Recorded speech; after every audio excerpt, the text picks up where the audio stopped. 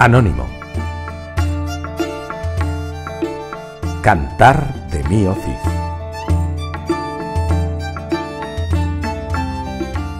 Leído e interpretado por Moisés de las Heras Fernández. Blog literario Lluvia en el mar. Audio número 2. Cantar primero.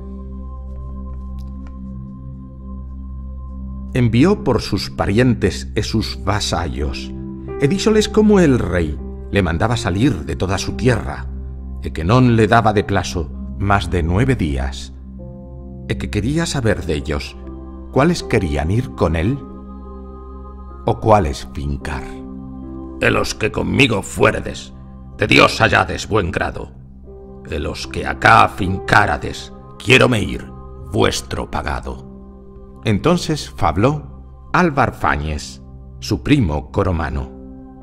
Con busco iremos, Cid, por yermos por poblados, que nunca vos falleceremos en cuanto seamos vivos y sanos. Con busco despenderemos las mulas y los caballos, y los haberes y los paños. Siempre vos serviremos como leales amigos y vasallos. Entonces otorgaron todos cuanto dijo don Álvaro, que mucho agradeció mi Cid cuanto allí fue razonado. Mi Cid movió de vivar por a Burgos adeliñado, así de a sus palacios yermos y desheredados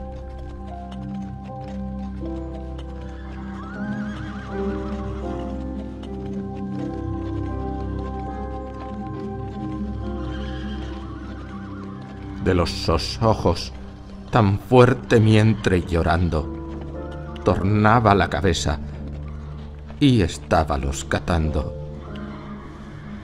Vio puertas abiertas y usos sin cañados, alcándaras vasias, sin pielles, e sin mantos, e sin falcones, e sin actores mudados. Sospiró mi Cid, mucho había grandes cuidados. Fabló mi Cid, bien e tan mesurado. Grado a ti, Señor Padre que estás en alto. Esto me han vuelto míos enemigos malos. Allí piensan de aguijar, allí sueltan las riendas. A la esida de Vivar o vieron la corneja diestra entrando a Burgos o la siniestra. Mesió mío Cid los hombros y engrameó la tiesta.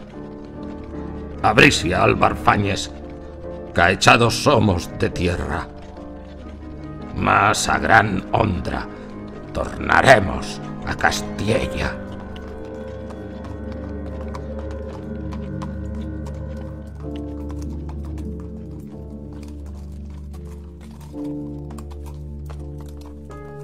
Mío Cid, por Burgos se entrove.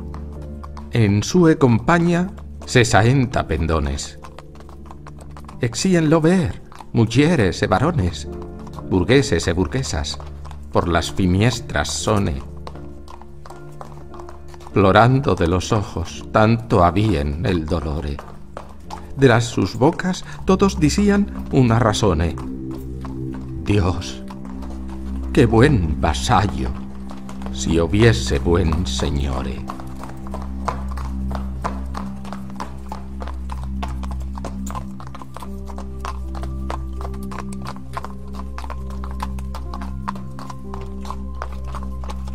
Convidarle y en degrado, mas ninguno no nos haba. El rey don Alfonso tanto había la gran saña. Antes de la noche en Burgos del entró su carta, con gran recapto. E fuerte mientre sellada. Que a mil Cid, Roy Díaz, que nadie nol diesen posada, e aquel que la diese, sopiese verá palabra que perdería los saberes e más los ojos de la cara y aún de más los cuerpos y las almas. Grande duelo había en las gentes cristianas. Ascóndense de mi que no los han decir nada. El campeador adeliñó a su posada. Así como llegó a la puerta, fallóla bien cerrada. Por miedo del rey Alfonso, que así lo pararan. Que si no la quebrantas, que no se la abriesen por nada. Los de Miosid a altas voces llaman. Los de dentro no les querían tornar palabra. Aguijó Miosid. A la puerta se llegaba. Sacó el pie del estribera. Una feridal daba. Non se abre la puerta. Que bien era cerrada.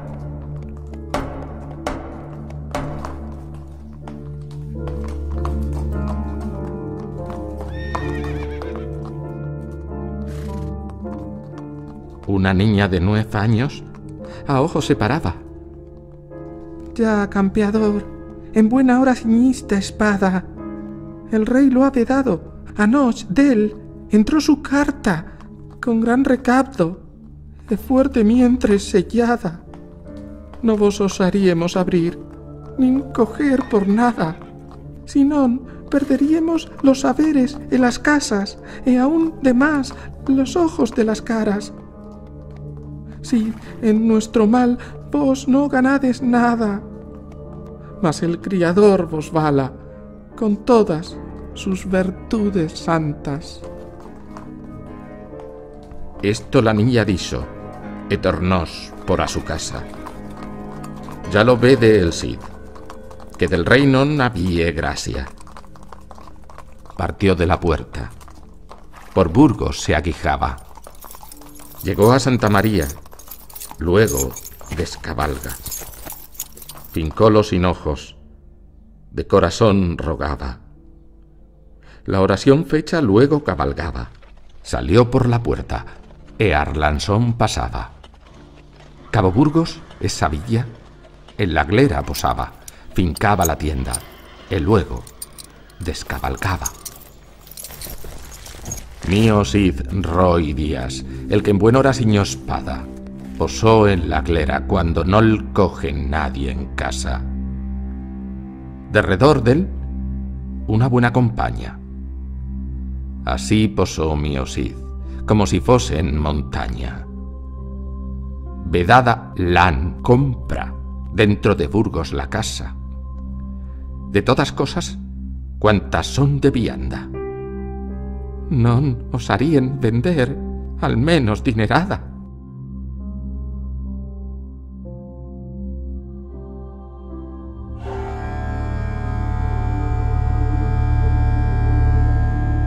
Martín Antolines, el burgalés cumplido, a mí os e a los os abástales de pan e de vino.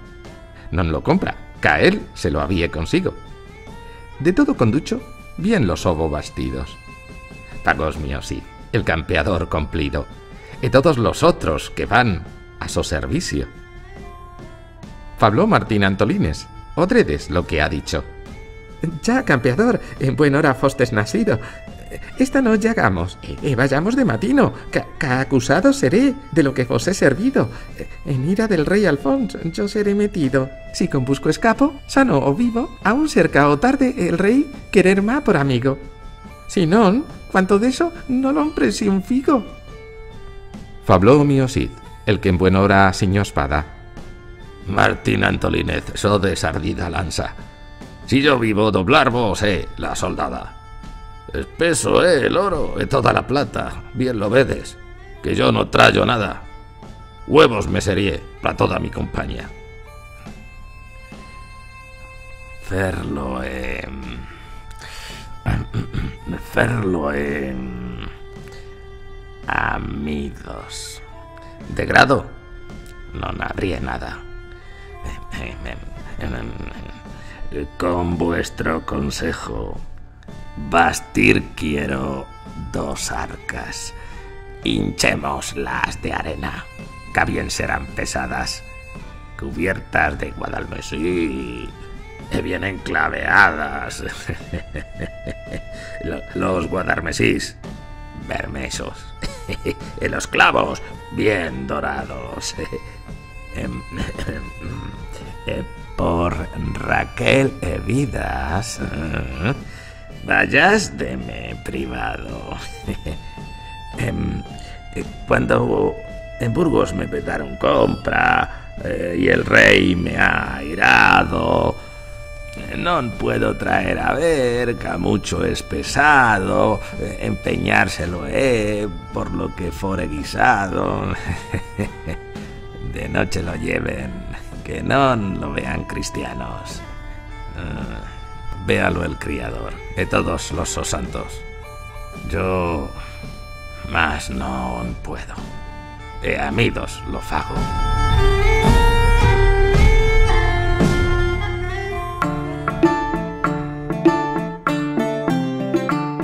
Martín Antolines no lo detardaba. Pasó por Burgos, al castillo entraba por Raquel Evidas, a priesa demandaba. Raquel Evidas, en uno estaban amos, en cuenta de sus haberes, de los que habían ganados. Llegó Martín Antolines, a guisa de membrado. Dos odis, Raquel Evidas, los míos amigos caros. Emporidad, hablar querría con amos. No lo detardan.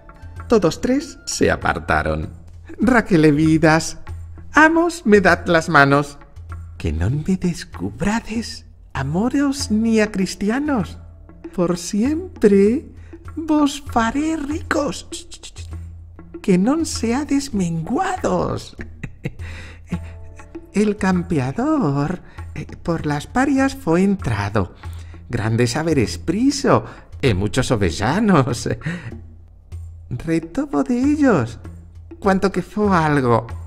Porén, vino a aquesto, porque fue acusado. Tiene dos arcas llenas de oro esmerado. Ya lo vedes, que el rey le ha airado. Desado a heredades, e casas, e palacios aquellas no las puede elevar, sino sería ventado el campeador desarlas a en vuestra mano. E prestadle de haber lo que sea guisado. Prended las arcas y, metedlas en vuestro salvo. Con gran jura, meted y las fedesamos, que non las catedes en todo aqueste año. Raquel Evidas seguíense consejando. No huevos sabemos en todo de ganar algo. Eh, bien lo sabemos que él algo ha gañado. Cuando a tierra de moros entró, que gran haber ha sacado. Eh, no duerme sin sospecha aquí haber trae monedado. Mm, em, mm, estas arcas, prendamos las amos, en lugar las metamos que no sea aventado. Más decidnos del Cid, ¿de qué será pagado? ¿O qué ganancia nos dará por todo aqueste año? Repuso Martín Antolines, a guisa de membrado. Mío Cid querrá... Em, lo que sea aguisado pedir vos a poco por desar su haber en salvo. Acógensele omnes de todas partes menguados, a menester... Mm, eh, seiscientos marcos. Dijo Raquel Evidas. Dárselos hemos de grado. Ya vedes que entra la noche. El Cid es presurado. Huevo sabemos que nos dedes los marcos dijo Raquel Evidas. No, no, no, no se fase así el mercado. Sino primero prendiendo y después dando. Dijo Martín Antolines. Yo de eso me pago. Vamos traed al campeador contado. Enos vos ayudaremos, que así es aguisado, por aducir las arcas y meterlas en vuestro salvo. Que no lo sepan, moros ni cristianos. Dijo Raquel Evidas. Nos, de esto nos pagamos. Las arcas a duchas, prended 600 marcos.